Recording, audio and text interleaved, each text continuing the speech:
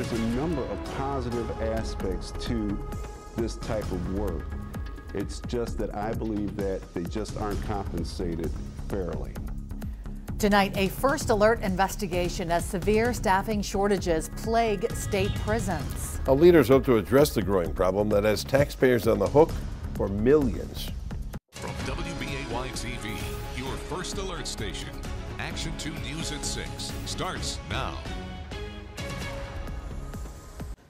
Good evening. Thanks for joining us. Crisis. That's the word both Republicans and Democrats use to describe the drastic shortage of correctional officers in Wisconsin's prisons. More than a half dozen institutions are missing at least a quarter of their workforce. Two prisons have barely half the staff they need. And it's costing taxpayers tens of millions of dollars in overtime and forcing the Department of Corrections to find new ways to recruit and retain employees. In a first alert investigation, Sarah Thompson found out how money is driving a major push for change.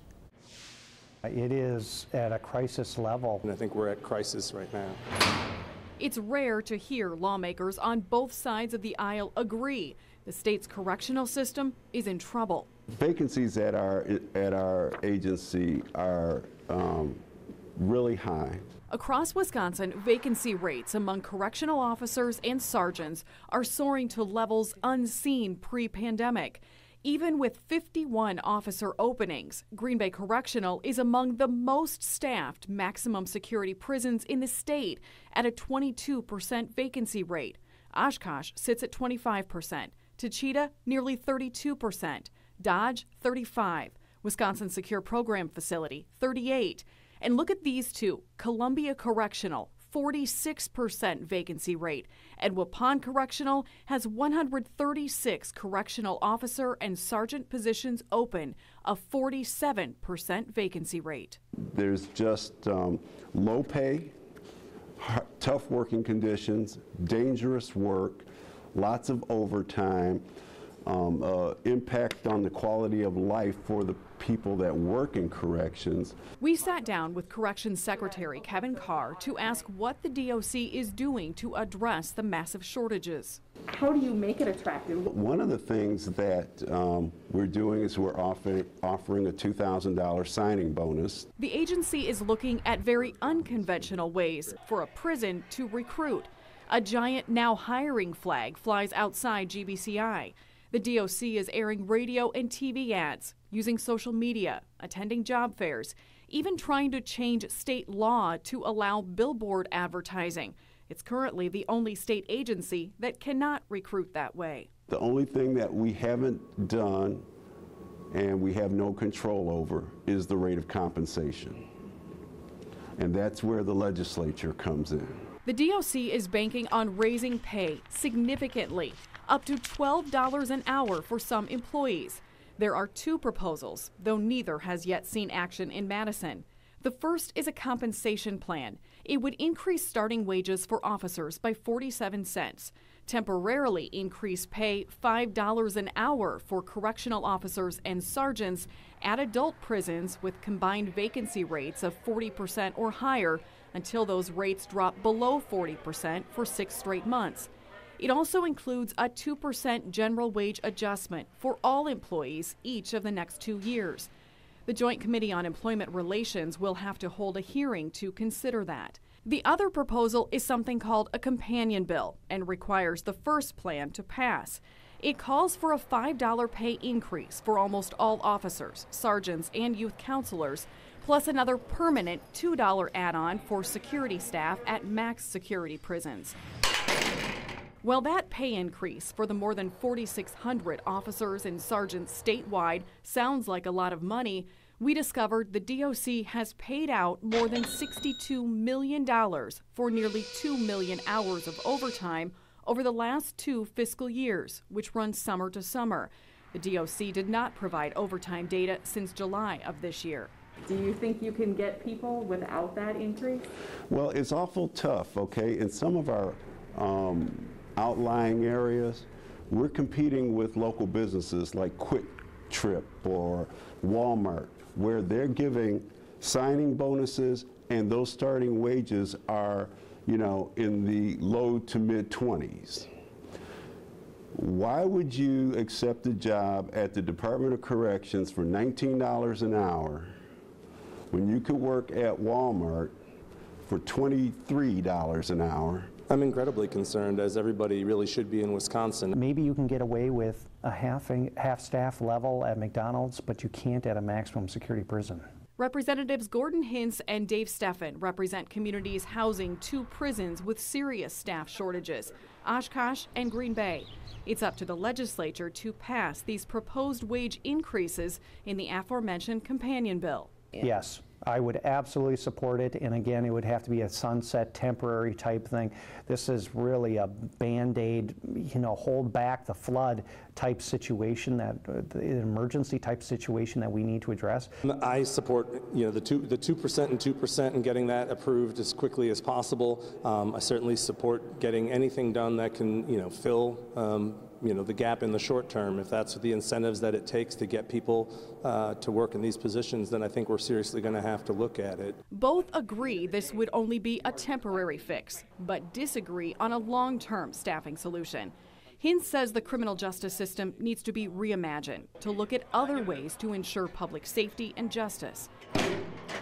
Steffen is again pushing for the decommissioning of GBCI and the construction of a new state of the art facility that could operate with less staff.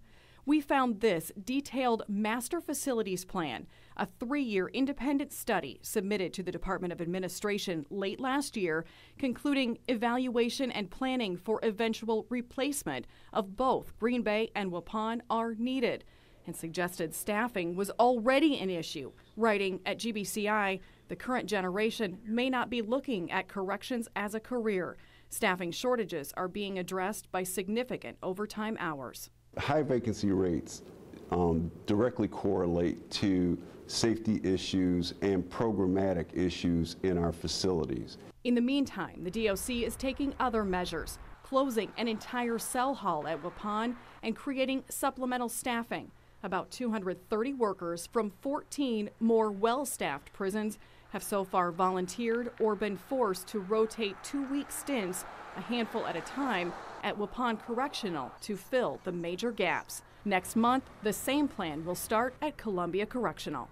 So, what about the ones who are doing the work? I spoke with some correctional officers off camera who agree throwing money at the problem is not a long term fix, and they don't know if it's really enough to entice a new generation of employees to the job but they are optimistic it could keep experienced staff. Now, no hearings or discussions have been scheduled on any of these proposals yet, but we will keep an eye on it and be the first to update you on any new developments. Right now on Action 2 News at 6, lawmakers meet about the severe staffing shortages at Wisconsin prisons, the moves made in Madison today, in an update to a First Alert investigation. From WBAY TV, your First Alert station, Action 2 News at 6 starts now. Good evening. Thanks for joining us. Bill has the night off. At a last minute hearing in Madison today, lawmakers approved some pay raises to address the state's critical staffing shortages in prisons. But it falls far short of what the Department of Corrections says it needs in order to keep the prison system running safely. In a first alert investigation earlier this month, we found out many of the state's maximum security prisons are operating with a more than 20% officer vacancy rate, and two prisons are operating at barely half staff. Sarah Thompson joins us with an update to her first alert investigation with the moves made in Madison today and what happens next. Those pay increases of up to $12 an hour for some correctional officers that we first told you about a few weeks ago will not happen. In fact, only a fraction of a pay raise was approved at a hearing today, scheduled less than 24 hours earlier before the Joint Committee on Employment Relations. As that hearing started this morning, I looked at the state's vacancy rates, finding 1,101 open positions statewide at DOC. Just after the hearing ended around noon today, that number had increased by 25 more employees. Lawmakers argue the problem is not going away. They agree on that, but they cannot agree on how to pay to fix it. This dashboard, operated by the Department of Corrections, tracks the rising record vacancy rates and staff shortages within the state's prison system. It's numbers to most of us But to the people left to fill those correctional officer jobs, it's flashing messages of danger. Uh, frankly, it's just not safe. Uh, we cannot even hold up our mission statement. There was one night they were running third shift with 10 staff for 900 inmates. And the examples kept coming from corrections officer Lucas Meyer, who works at Dodge Correctional in Waupun. Uh, we had a fight out in the barracks unit recently, which houses 72 unsecured inmates. We had one blue shirt responder. Correctional officers told the Joint Committee on Employment Relations they're exhausted, with some being forced to work 18 hour days, the most allowed by law. Altogether, that puts me at over 5,277 hours worth of overtime in less than five years that I work for the state. It's racking up big bucks at taxpayer expense. As we first told you in our original investigation, the Department of Corrections spent nearly $62 million in the last two fiscal years on overtime. Today, we learned just since July, DOC has spent more than $13 million of taxpayer money in overtime to cover vacant officer positions. At some point, people reach a breaking point, and that's when they leave. Administrators and Secretary Kevin Carr told lawmakers he has done what he can without spending money and even has some wardens covering some officers' shifts. But he argued wages must increase in order to attract and retain workers. Our proposal puts us in a more competitive position with local employers in neighboring states. After more than two hours of similar testimony, Clerk will call the roll. the committee voted unanimously to pass a compensation bill. It offers some relief a 47 cent starting wage increase for correctional officers, a temporary $5 add on for officers and sergeants at adult prisons, but only those with a 40% or higher vacancy rate, lasting until it drops below 40% for six straight months. It also approved a 2% general wage adjustment for all employees each of the next two years. This has to be the beginning of the long-term investment because it's only going to get tighter and it's only going to get more expensive. And I think uh, there's a consequence of not acting. There was a second plan called a companion bill that could have added up to another $7 per hour. It would have gone to the legislature for approval, but it failed to pass this committee along party lines. The sticking point for Republicans? The lack of federal rescue plan money being used to address the shortage. If the governor isn't allocating any ARPA funds to DOC out of this latest round, why is that if you're still seeing ongoing pandemic related costs? The committee voted to urge the governor to find a way to use those federal dollars to address the shortage, but no specifics were given.